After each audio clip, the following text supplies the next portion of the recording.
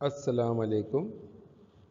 Dear student, I hope you all are doing well and feeling healthy at your home.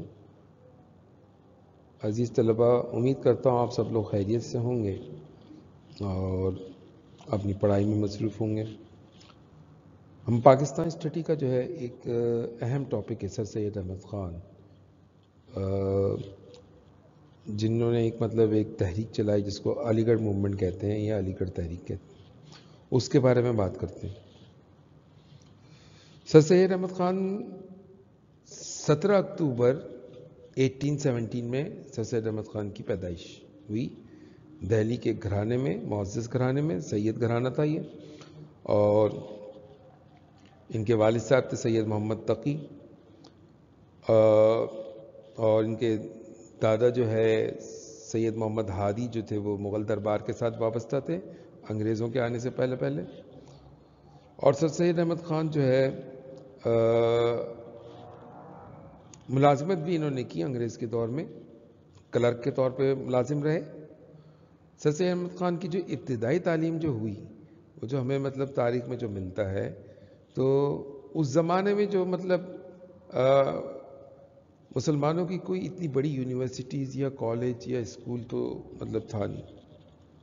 और कोई जामियात का इतना तस्वुर नहीं मिलता था।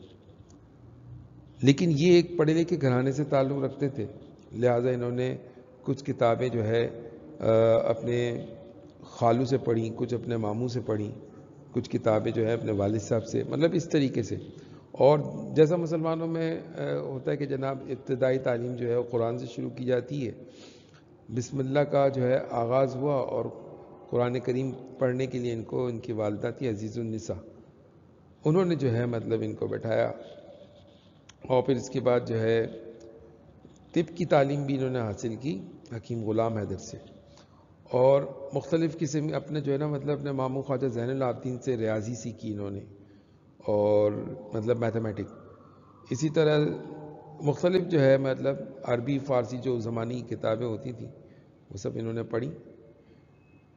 इसके अलावा जो है सर सैद अहमद ख़ान के बारे में ये था कि जो है आ, उनका मतलब ये मिलता तस्वुर कि इंग्लिस्तान में जब 1869 में इनके बेटे जो है इंग्लिस्तान में मज़ीद तालीम हासिल करने के लिए सैयद महमूद जो है वो जब इंग्लिस्तान की तरफ़ रवाना हुए तो ये भी उनके साथ इंग्लिस्तान गए। ऑक्सफोर्ड का मुशाह किया। और सर सैद अहमद ख़ान जो है वही चाहते थे कि अंग्रेज़ी ज़बान जो है, मुसलमान जो है वो अंग्रेज़ी अंग्रेज़ी तालीम को सीखे, अंग्रेज़ी ज़बान को सीखे और जदीद तालीम जो है उसकी बुनियाद चूँकि अंग्रेज़ी पे है तो लिहाजा जो है वो अंग्रेज़ी तालीम जो है वो सीखे और ऑक्सफोर्ड के तर्ज पर जो है वो चाहते थे कि एक हिंदुस्तान में मुसलमानों की एक यूनिवर्सिटी। ये उनकी कोशिश थी। अपने लेसन को हम आगे बढ़ाते हैं।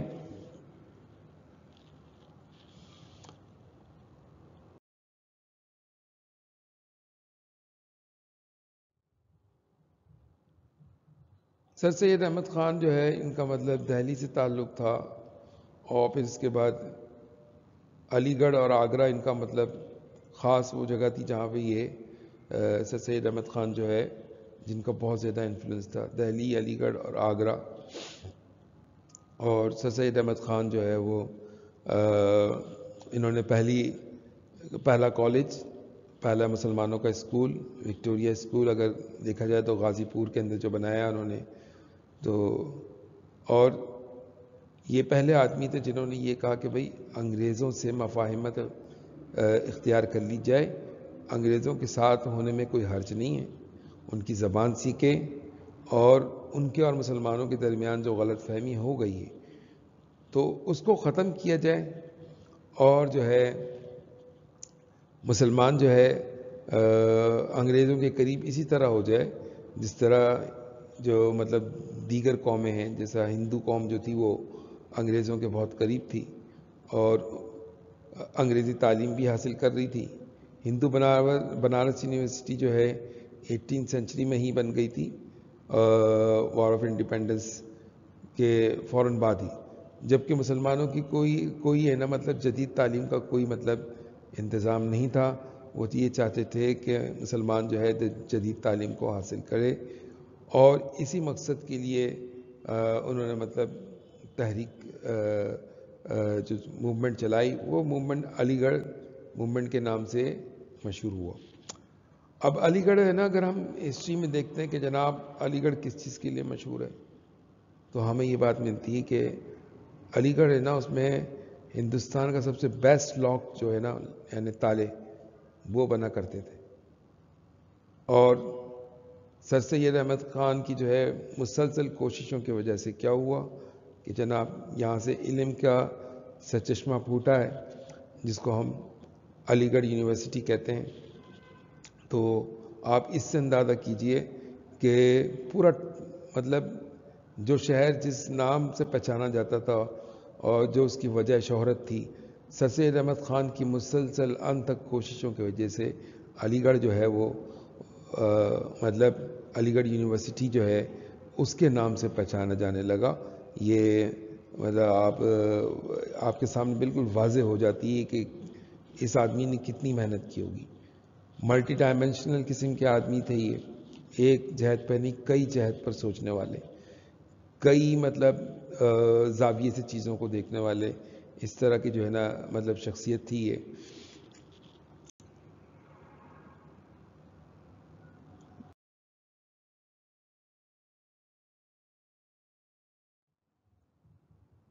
आप ये समझ लें कि 19वीं सदी का जो है, सबसे जो है, अजीम तरीन जो है, मसीहा इसको समझा जाता था। और मुसलमान जो है, उनको ख्वाब गफलत से जगाने के लिए इन्होंने जदीद ूम की तरफ़ रागब किया। वरना ये यहाँ हिंदुस्तान में जो इल्म था, वो दरअसल जो है मुसलमानों का जो है, रिवायत पसंद जो इल्म था, वो मौजूद था जो मुग़लों के दौर में जिसकी बड़ी पजीराई थी, जिसकी जो है मुग़लों के दौर से पहले भी बहुत इसकी पजीराई थी। लेकिन जो है वक्त और ज़माने के साथ साथ मुसलमान जो है इसको बदलना नहीं चाह रहे थे। वो एक ही तरफ़ रागब थे अपने जो है मजहबी ूम की तरफ़ थे, जो मतलब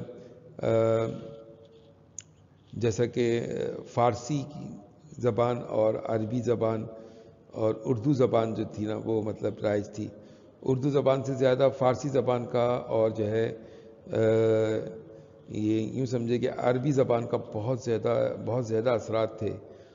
इनमें वो ूम नहीं थे जो ूम मतलब अंग्रेज़ी ज़बान में थे और अंग्रेज़ी ज़बान के अंदर जो जदीद साइंस की जो बातें थीं और, और जदीद तालीम की जो बात थी उसको जो है वो चाहते थे, असद सैद अहमद ख़ान के मुसलमान इस तरफ़ रागब हो जाए।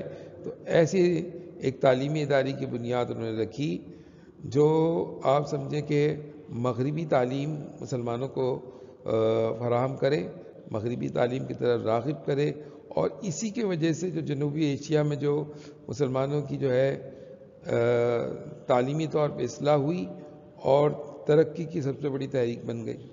हालाँकि यहाँ जामियात तो नहीं थे, लेकिन मदारस ज़रूर थे। लेकिन वो मदारस भी बहुत बड़ी तादाद में नहीं थी। तो इससे आप अंदाज़ा कीजिए कि मुसलमान किस पस्ती का शिकार था। अगर उसमें हम देखा जाए कि जदीद तालीम के मामले में तो मुसलमान बहुत ज़्यादा पस्ती का शिकार था। तो सर सैद अहमद ख़ान ने ये बुनियाद रखी, ये इसी की बुनियाद रखी, तारीख, तहरीक अलीगढ़।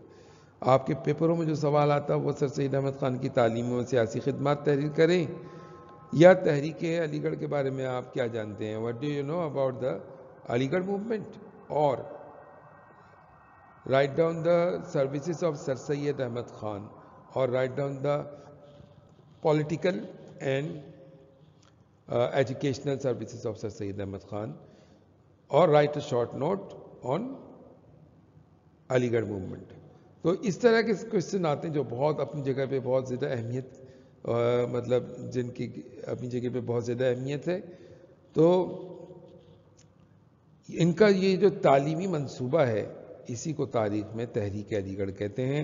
जैसे अज़ीज़ तलबा, मैंने आपको बताया कि अलीगढ़ किस लिए मशहूर था और सर सैद अहमद ख़ान की कोशिशों से किस लिए जो है अलीगढ़ एकदम से हुआ। अगर हम जो है तहरीक अलीगढ़ का जो है अगर हम जायज़ा लें तालीमी पहलू तो सर सैद अहमद ख़ान जो है मुसलमानों के लिए आ, ये चाह रहे थे कि एक जदीद स्कूल बन जाए। मुसलमानों के लिए जो है स्कूलिंग का जो है मतलब आगाज़ हो जाए और जदीद तालीम की तरह मुसलमान आ जाए। इसके लिए वो मुख्तलिफ़ जो है आ, मतलब प्रोग्राम करते और जलसे करते। लेकिन उस जलसे का मकसद सियासत नहीं होता बल्कि उसका मकसद ये होता कि अपने स्कूल के लिए चंदा जमा करना। क्योंकि ज़ाहिर सी बात है, कोई भी तालीमी इदारा कब तक चलेगा, जब चलेगा, जब उसके में, उसके लिए पैसे इकट्ठे हों। तो वो मतलब इस तरीके से जो है, वो चाहते थे कि किसी तरह जो है, मुसलमान जदीद तालीम की तरह रागब हो जाए तो वो इसके लिए वो फाइनेंशियल हेल्प जो है, मुसलमानों से चाहते थे। तो वो चंदे वगैरह किया करते थे। अगर सैद अहमद ख़ान के ऊपर बहुत सारी डॉक्यूमेंट्रीज है, जो अभी भी आपको मतलब उसमें मिल जाएगी यूट्यूब के अंदर अगर आप चैनल में देखें, सर सैद अहमद ख़ान लिखें, एक पूरी आपको एक दस मिनट की क्लिप मिलेगी जिसमें वो दिखाते हैं कि जनाब सर सैद अहमद ख़ान किस तरीके से जो है लोगों से चंदा ले रहे हैं, चंदा इकट्ठा कर रहे हैं। और ये मतलब एक ख्याली तस्वीर है इसकी कि सर सैद अहमद ख़ान मुख्तलिफ़ किस्म के मजबे में पहुँच जाते हैं और वहाँ जाके अपना जो है, अपना मुतालबा सामने रखते और उनकी कोशिशों की वजह से जो है फिर ये आ, मतलब अलीगढ़ जो है वो बना एक यूनिवर्सिटी बन गया। कॉलेज से स्कूल स्कूल फिर कॉलेज और फिर उसके बाद फिर जो है वो यूनिवर्सिटी का दर्जा इसको दे दिया गया। और यहाँ से निकलने वाले जो स्टूडेंट थे उन्होंने ही जो है तहरीक पाकिस्तान और मुस्लिम लीग की पहले बुनियाद रखी और मुस्लिम लीग जो है वो 1940 में जो है उसने तहरीक पाकिस्तान की बुनियाद रखी और फिर उसके बाद दो कौमी नज़रिया जिसके फाउंडर कौन थे? सर सैद अहमद ख़ान थे। इसी के बुनियाद पर पाकिस्तान जो है उसका क़्याम हुआ। तो क़्याम पाकिस्तान की जो है, अगर कहा जाए कि इसमें सर सैद अहमद ख़ान का बहुत किरदार, बहुत बड़ा किरदार है तो मतलब ये बिल्कुल सही बात लगती है क्योंकि जो है सर सैद अहमद ख़ान ही थे जिन्होंने जो है, हिंदुस्तान में मुसलमान को एक अलहदा कौम की हैसियत दी और लफ्ज़ नेशन के तौर पे पहली दफ़ा उन्होंने ही इस्तेमाल किया। हम अपने लेसन को आगे बढ़ाते हैं और उनके पहले तालीमी पहलू को देख लेते हैं। तालीमी पहलू में सबसे पहली बात हमें जो मिलती है वो ये बात है कि जनाब सर अहमद ख़ान चाहते थे कि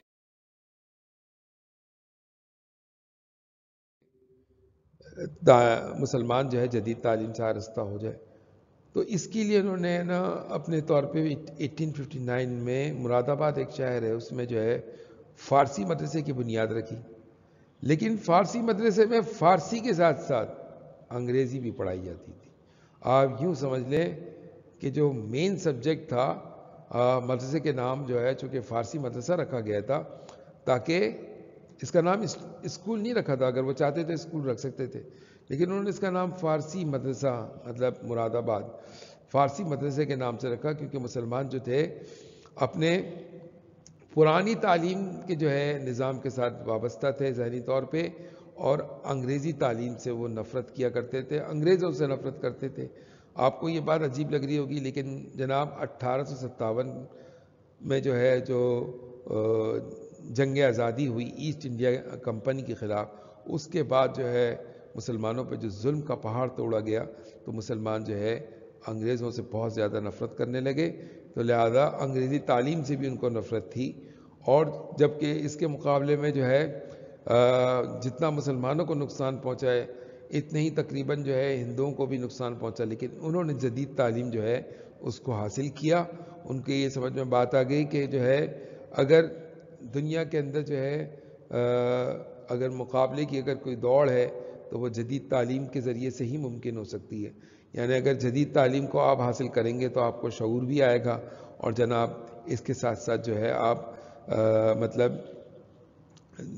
जदीद तालीम के वजह से जो है आप साइंस और जो है रिसर्च और पूरी दुनिया में जितनी भी चीज़ों पर रिसर्च हो रही है, उन सब के ऊपर जो है आपकी गिरफ्त मज़बूत होगी और वहाँ तक आप पहुँचेंगे, जहाँ मतलब वेस्टर्न वर्ल्ड जो थी, मगरबी दुनिया जहाँ पे पहुँच चुकी थी और तरक्की के लिए जो है बहुत ज़रूरी था कि जदीद तालीम हासिल की जाए, यानी न्यू वे ऑफ़ एजुकेशन जो है इसको फॉलो किया जाए। ये मतलब इसको और ट्रेडिशनल वे मतलब जो मदरसा है, उसको एक तरफ़ रखा जाए। लेकिन मदरसे का नाम इन्होंने जो है मुरादाबाद के अंदर जो मदरसा रखा, उसका नाम इन्होंने मदरसा रखा, स्कूल नहीं रखा।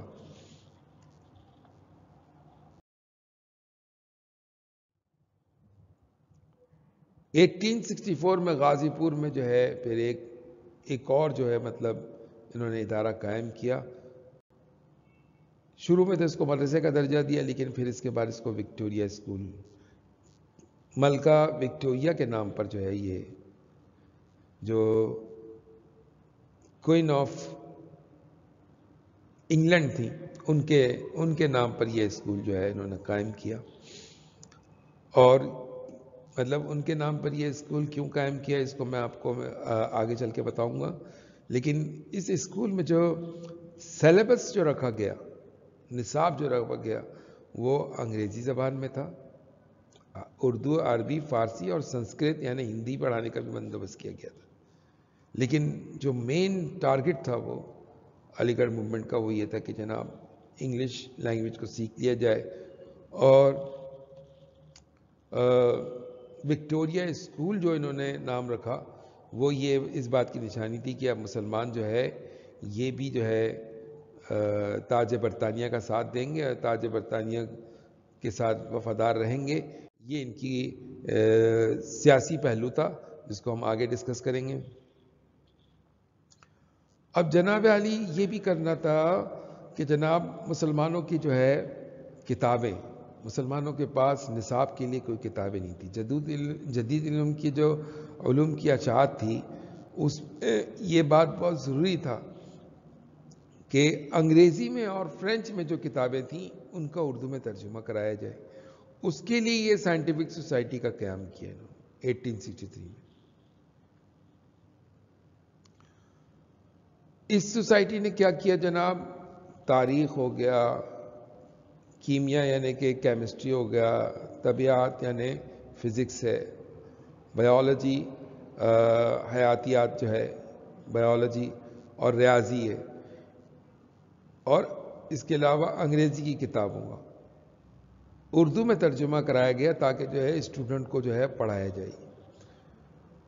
इन तर्जुमों को छापने के लिए जो छापा खाने का भी पूरा अहतमाम किया मतलब बाकायदा प्रेस बनाया गया और प्रेस को जो है मतलब आ, उस प्रेस के अंदर जो है बुक्स जो है शाया होना शुरू हुई।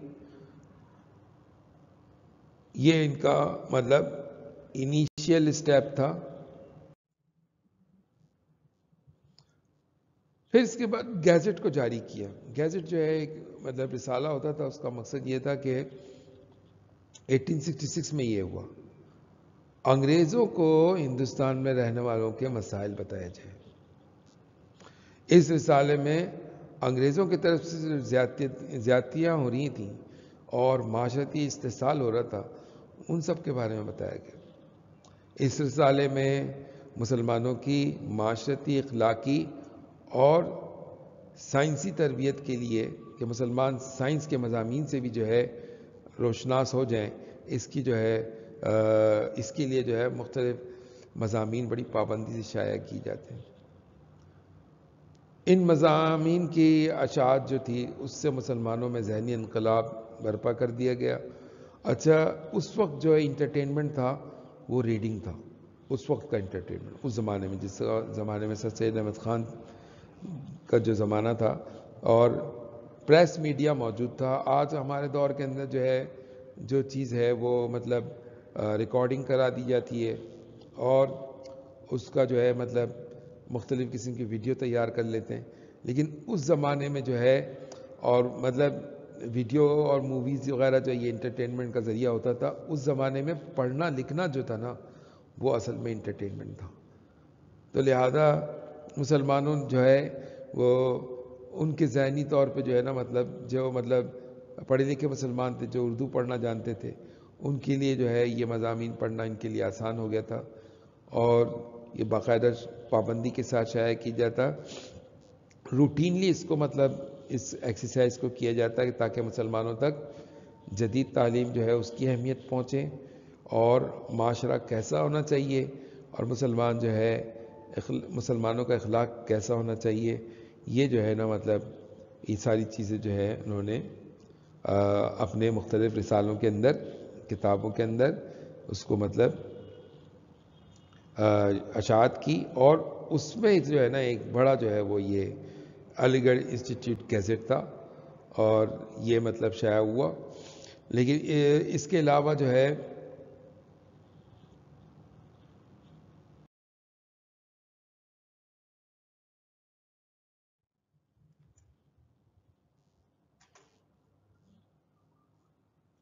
एटीन सेवेंटी सेवन में अलीगढ़ कॉलेज का क्याम इन्होंने जो है अलीगढ़ के मुकाम पर जो है कॉलेज को बनाया और यही कॉलेज जो है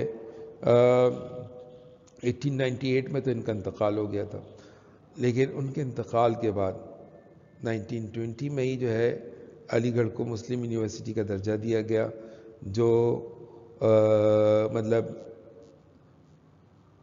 सर सैद अहमद ख़ान की चाहत थी। सर सैद अहमद ख़ान ने अपने एक इजलास में जो है, जो मोहम्मद एन एजुकेशनल कॉन्फ्रेंसेस हुआ करते थे, ये भी सर सैद अहमद ख़ान ने मतलब इसको ईजाद किया कि जनाब जिस तरह मतलब मुतारफ़ करवाया कि जब एंड ऑफ़ द ईयर हो जाएगा किसी भी तालीमी निज़ाम का तो वहाँ पे जो है इस लोगों को बुला के सारे जो है स्कॉलर्स और जितने टीचर्स हैं, वो सब के सब और स्टूडेंट्स वहाँ पे पहुँचे और एक कॉन्फ्रेंस करे उस कॉन्फ्रेंस में जो है अगले स्टेप मतलब नेक्स्ट क्या स्टेप करना है एजुकेशनल स्टेप क्या होना चाहिए ये जो है आ, मतलब तालीमी इकदाम क्या करेंगे और सिलेबस को किस तरीके से मज़ीद मतलब उसके अंदर तरक्की दे सकते हैं ये चीज़ें जो है वो करवाई गई थी।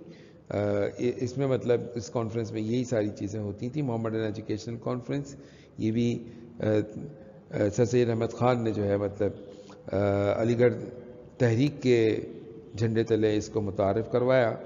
आप ये समझे कि यूँ सर सैद अहमद ख़ान ने जो है अलीगढ़ तहरीक जो है उसको मतलब कामयाबी की तरफ़ राह पर गामजन किया और मुसलमानों की पहली यूनिवर्सिटी, अलीगढ़ मुस्लिम यूनिवर्सिटी, यही जो है जो कॉलेज जो था एम ए ओ कॉलेज जो कहलाता, मोहम्मद एंग्लो ओरिएंटल कॉलेज इस कॉलेज को जो है 1877 में मतलब कायम किया और 1920 में ही यही मुस्लिम यूनिवर्सिटी का इसने दर्जा दिया। और सर सैद अहमद ख़ान जो थे वो मतलब हुकूमत के उन्होंने सारी अजीब व गरीब किस्म की जो शराइ थे, उसको भी पूरा किया उन्होंने कि अगर कॉलेज नहीं चले और कॉलेज बंद हो जाए तो हुकूमत जो है वो मतलब इससे ज़मीन को ले लेगी मतलब इस ज़मीन के टुकड़े को ले लेगी जिसको सर सैद अहमद ख़ान ने हासिल किया था। और कॉलेज का सारा एहसासा जो है, हुकूमत के मलकियत में आ जाएगा। लेकिन सर सैद अहमद ख़ान ने जो है, इस रिस्क को लेते हुए इस शर्त को भी कबूल किया और उन्हें यकीन था कि ये कॉलेज जो है गैर मामूली तरक्की करेगा और ऐसे ही हुआ। इसी कॉलेज से जो है मतलब मुसलमानों के मुख्तलिफ़ मशहूर जो है, जो लीडर हैं, वो सब इसी कॉलेज से ही निकले। अब सर सैद अहमद ख़ान की सियासी खदमात को देख लेते हैं। सर सैद अहमद ख़ान की अगर सियासी पहलू को हम देखें तो उसमें एक बात तो बिल्कुल ही मतलब क्लियर थी कि जनाब सर सैद अहमद ख़ान वो आदमी थे जिन्होंने जो है मुसलमानों को सियासत से दूर रहने का मशवरा दिया। ख़ास तौर पे कांग्रेस के अंदर शमूलियत जो है, उसको उन्होंने मना किया कि कांग्रेस में कोई भी शामिल ना हो। ये उनकी मतलब कोशिश थी। अच्छा ये क्यों होता इसलिए कि जनाब, सियासत में जो है फिर ये होता है कि आप जैसा आज देख रहे हैं ना कि सियासत में जो है जेलों के अंदर घसीट दिया जाता है, पुलिस जो है वो रेड करती है, फिर उसके बाद सियासी जमातें हड़ताल करती हैं। तो ये सारी चीज़ें जो है, अंग्रेज़ों के दौर से हमारे मतलब माशरे के अंदर ये चीज़ें ट्रांसफ़र हुई। तो जेलों में जाना और ये सब चीज़ें करना और चूँकि अट्ठारह में मुसलमानों ने एक, अपने तौर पे जो है, हिंदुस्तान को आज़ाद करने की कोशिश की। हालाँकि उस कोशिश में दूसरी कौम में भी शामिल थी यानी हिंदू कौम भी शामिल थी। लेकिन मुसलमान जो है वो जुल्म का निशाना बन गई। तो इसलिए सर सैद अहमद ख़ान ये चाहते थे कि मुसलमान सियासत से दूर रहे। सर सैद अहमद ख़ान ने दो कौमी नज़रिए का आ, मतलब आ, की बुनियाद रखी। सर सैद अहमद ख़ान ने जो है जो ये कहा करते थे कि हिंदुस्तान एक दुल्हन की तरह है। और दुल्हन की दोनों आँखें हो तो वो अच्छी, और दुल्हन की एक आँख जो है वो मुसलमान है, और दुल्हन की दूसरी आँख बिल्कुल ऐसे है जैसे गोया हिंदू। मतलब वो मिसाल दिया करते थे। वो कहते थे कि जनाब, अगर दुल्हन भेंगी हो गई तो भी अच्छी नहीं लगेगी, और दुल्हन जो है उसकी अगर एक आँख ज़ाया हो गई और वो कानी हो गई तो भी मतलब सही नहीं। दुल्हन की दोनों आँखें सही होनी चाहिए। वो ये कहा करते थे लेकिन 1869 से 1877 तक उनके वो ख्याल बिल्कुल तब्दील हो गए।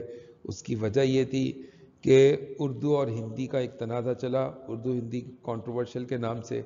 उस तनाज़े में जो है उर्दू को जो है मतलब पस पुश करने की कोशिश की गई और ये कहा गया कि जनाब उर्दू की कंट्रीब्यूशन उर्दू में जो है मुसलमानों का बहुत कम कंट्रीब्यूशन है। तो इसलिए जो है मतलब वो आ, उन्होंने मतलब ये कहा कि मुसलमान एक अलहदा कौम है। उस वक्त जो है उनके साथ उस वक्त के एक कमिश्नर मौजूद थे सर विलियम। तो उन्होंने जो है ना मतलब आ, अपने उसमें याददाश्त में ये बात लिखी कि सर सैद अहमद ख़ान जो है वो पहले आदमी थे जिन्होंने मुसलमानों के लिए लफ्ज़ नेशन को इस्तेमाल किया। कह रहे मैं मैं उनके मुँह से ये जुमला सुन के हैरान हो गया।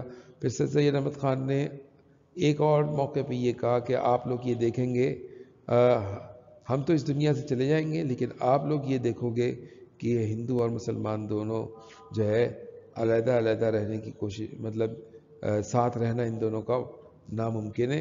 इस तरह की बातें उन्होंने जो है मतलब इशारतन की।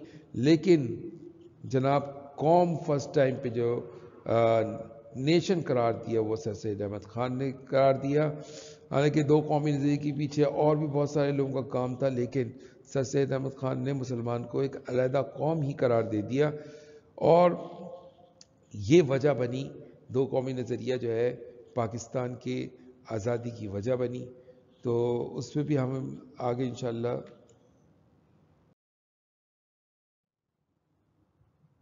सर सैद अहमद ख़ान जो थे, इन्होंने एक बुक लिखी जिसमें, और 1857 की जो जंग आज़ादी का ज़िम्मेदार है ना, अंग्रेज़ों ने मुसलमानों को ठहराया, वो ये कहते थे, ये सिपाहियों की बगावत है। सिपाही मिटनी के नाम से मतलब आपको इसमें हिस्ट्री के अंदर मिलता है, जिसमें अंग्रेज़ का, अंग्रेज़ों ने मुख्तलिफ़ जगहों पर मतलब ये लिखा कि जनाब ये सारा कसूरवार मुसलमान है। सर सैद अहमद ख़ान ने उसके जवाब में एक रिसाला लिखा और मुसलमानों की बगावत मतलब इसबाब बगावत हिंद बताया। और एक और रिसाला जो है, इंडिया के वफादार मुस्लिम loyally, loyal Mohammedan of India के नाम से एक बुक लिखी। एक बुक, एक रिसाला जो है वो लिखा इसबाब बगावत हिंद। और इन दोनों रिसालों का मतलब इंग्लिश में तर्जुमा भी किया। इससे ये गलत फहमी ख़त्म हुई कि मुसलमान ही इसके ज़िम्मेदार है, ये नहीं है। अगर जो है मुसलमानों को आप गद्दार कहते हो और कहते हो कि जनाब इन्होंने गद्दारी की और सिपाहियों ने जो है बगावत की तो उसकी वजह ये थी कि जनाब पादरियों ने अपनी तबलीगी जो सरगर्मियाँ थी, बहुत ज़्यादा तेज़ कर दी थी। इसी वजह से लोगों में जो है अंग्रेज़ों के ख़िलाफ़ नफ़रत और बेजारी का जज्बात पैदा हुए। ये मतलब वजूहत में से एक वजूहत ये भी है। The causes of Indian revolt के नाम से उन्होंने इसबाब बगावत हिंद का इंग्लिश में मतलब तर्जुमा किया, जो उस ज़माने की मतलब आउटस्टैंडिंग बुक थी। अब हम जल्दी से अपने जो है इस लेसन को थोड़ा सा आगे बढ़ाते हैं। मुसलमानों को कांग्रेस से दूर रहने की बात की, मुसलमानों को कहा कि आप कांग्रेस से दूर रहें और ये जो अक्सरियत जो है जमात चूँकि यहाँ पे हिंदुओं की है तो ये मुसलमानों के तहफ़ ही नहीं करेगी। इस तरह और वो मतलब उन्होंने कांग्रेस को जो है ना मतलब उसमें शरीक होने से इनको मना किया। दिसंबर 1885 में कांग्रेस बन गई थी इंडियन नेशनल कांग्रेस। और मुसलमानों ने इसकी बहुत ज़बरदस्त तरीके से मतलब ये इसको फॉलो किया तकलीद किया। सरजद खान अहमद ख़ान ने उर्दू ज़बान की तरक्की भी जो है उसमें भी बहुत बड़ा किरदार किया कि जनाब उन्होंने पूरा एक है ना उर्दू डिफेंस सोसाइटी कायम की। और जैसा कि कहते हैं, भाई, उर्दू ज़बान के बारे में नहीं खेल ए दाग, यारों से कह दो कि आती है उर्दू ज़बान आते आते तो ये बात है ना मतलब बिल्कुल अगर दुरुस्त होगा, अगर इसको कहा जाए सर से अहमद ख़ान का इंतकाल जो है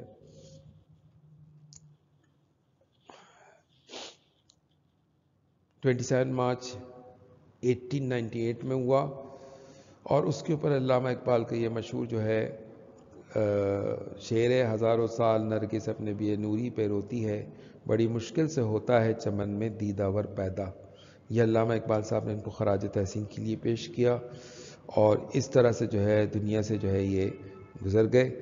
तो उम्मीद करता हूँ स्टूडेंट के जो है आपको ये लेसन समझ में आया होगा। आप मुझे इजाज़त दीजिए। अल्लाह निगहबान